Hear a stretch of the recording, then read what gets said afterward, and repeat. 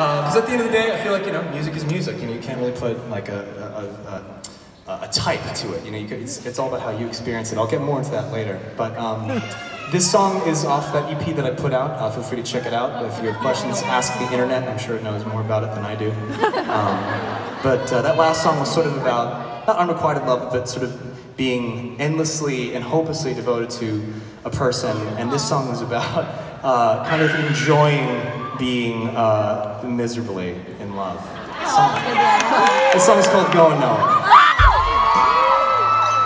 The front row